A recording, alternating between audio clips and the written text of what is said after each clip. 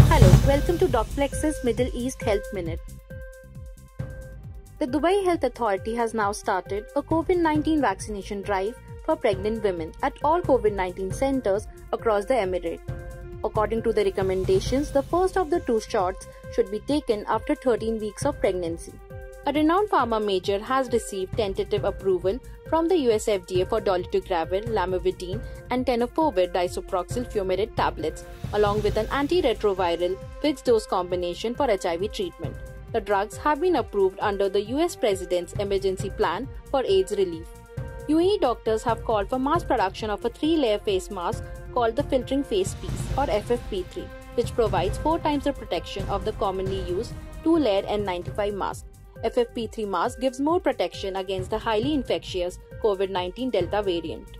The scientists at NYU Abu Dhabi have revealed that small compounds called mimetics help to suppress the growth of cancerous tumors. The study revealed that it could prolong the survival of mice with certain types of cancer. This finding could potentially open up new avenues for cancer treatment. According to a study conducted by Oxford University, the mixing of COVID 19 vaccines induced high concentrations of antibodies against the SARS CoV 2 spike IgG protein. For the study, doses of two different vaccines were administered four weeks apart. In your opinion, will the mixing of two different vaccines be efficacious? Share your opinion by commenting below. Health Minute, the most popular segment of Docplexus, is now available for the Middle East every Tuesday and Friday. Stay tuned for the latest happenings in the medical field. Happy DocPlexing!